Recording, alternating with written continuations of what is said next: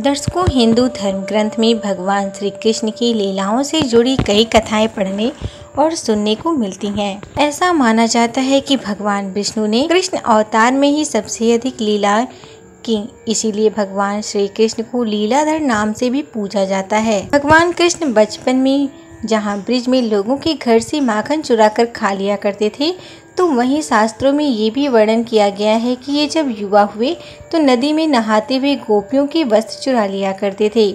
और अधिकतर जनमानस आज भी यही समझते हैं कि श्री कृष्ण नटखटता में गोपियों को तंग करने के उद्देश्य से उनका वस्त्र चुरा लिया करते थे, लेकिन ऐसा नहीं था। बल्कि वास्तव में वे गोपियों को ज्ञान देने के लिए ऐसा किया करते थे। जिसका वर्णन हिंदू धर्म शास्त्रों में किया गया है। तो दर्शकों, आइए मिलकर जानते हैं कि श्री कृष्ण गोपियों का वस्त्र किस उद्देश्य से चुराया करते थे। नमस्कार दर्शकों स्पिरिचुअल रियलिटी चैनल में आपका स्वागत है। पद्म पुराण में वर्णित कथा के अनुसार एक दिन गोपियाँ जब अपने वस्त्र उतारकर नदी में स्नान करने जल में उतरी तो वहीं भगवान श्री कृष्ण एक पेड़ पर बैठकर ये सारा दृश्य देख रहे होते हैं। कुछ देर बाद जब गोपियाँ नहाने में मग्न हो गईं, तो श्री कृष्ण चुपके से गोपियों के वस्त्र चुराकर पेड़ पर छुप गए। उधर जब गोपियाँ स्नान कर नदी से बाहर निकलने को हुई तो वे अपने वस्त्र को नदी के तट पर ना पाकर चिंतित हो उठी और सभी अपने अपने वस्त्र ढूँढने लगी। उसी समय गोपियों की नज़र छुपकर पेड़ पर बैठे श्री कृष्ण पर पड़ी तो वे सभी श्री कृष्ण से बोली कान्हा तुम्हें हम गोपियों को इस तरह नहाते देखते हुए जरा सा भी लज्जा नहीं आती? तब श्री कृष्ण ने गोपियों से कहा कि मुझे लज्जा क्यों आएगी? लज्जा तो तुम सभी को आनी चाहिए जो इस तरह निर्वस्त होकर नहा रही हो। फिर गोपियाँ उनसे बोली काना हमसे गलती हो गई। अब ये बताओ कि तुमने हम सभी के वस्त्र चुरा कर कहाँ रखे हैं? तब श्री कृष्ण पहले तो चोरी की बात से इनकार करते हैं, परंतु गोपियों के बार बार अनुरोध करने पर उन्हें बताया कि कन्याओं तुम्हारे वस्त्र इसी ब्रिज पर हैं, पानी से निकलकर ले जाओ।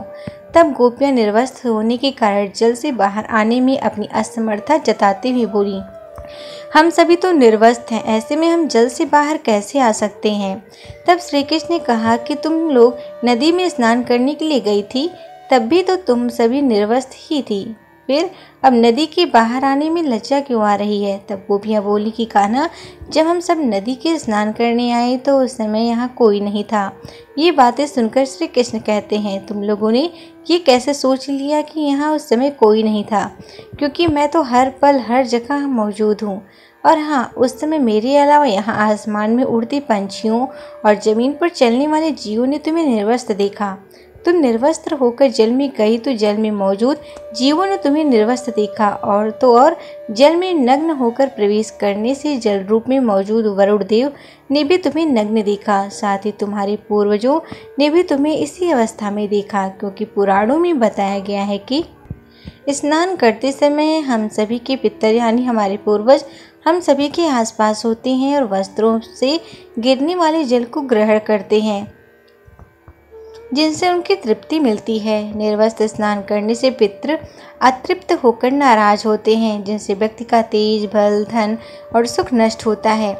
इसीलिए कभी भी निर्वस्त होकर स्नान नहीं करना चाहिए। उसके बाद श्री कृष्ण गोपियों को वस्त्र लौटाते हुए कहते हैं कि, कन्याओं, जब तक मनुष्य शरीर सर्म रूपी इस माया के बंधन में बधा हुआ रहता है, तब तक वह मोक्ष को प्राप्त नहीं कर सकता। लीस मात्रा भी माया बुद्ध रहने से मनुष्य का बैकुंठ धाम में प्रवेश करना असंभव है और यही समझाने के लिए मैंने तुम्हारे वस्त्र चुराए थे। दर्शकों, अब तो आप समझ ही गए होंगे कि श्री कृष्ण का यह हास परिहास गोपियों के प्रति उनके आगाध प्रेम भाव को प्रकट करता है। तो दर्शकों, उम्मीद करती हूँ कि आपको हमारी ये जानकारी पसंद आई होगी। अगर पसंद आई हो तो ज़्यादा से ज़्यादा शेयर करें। साथ ही अगर हमारे चैनल पर नए हैं तो स्पिरिचुअल रियलिटी यूट्यूब चैनल को अभी सब्सक्राइब कर लें, ताकि आप अधिक से अधिक आध्यात्मिक और पौराणिक कथाओं के बारे में जान सकें। इसके अलावा अगर आप हमारी वीडियो फेसबुक पर देख रहे हैं तो हमारे फेसबुक पेज को भी लाइक करें।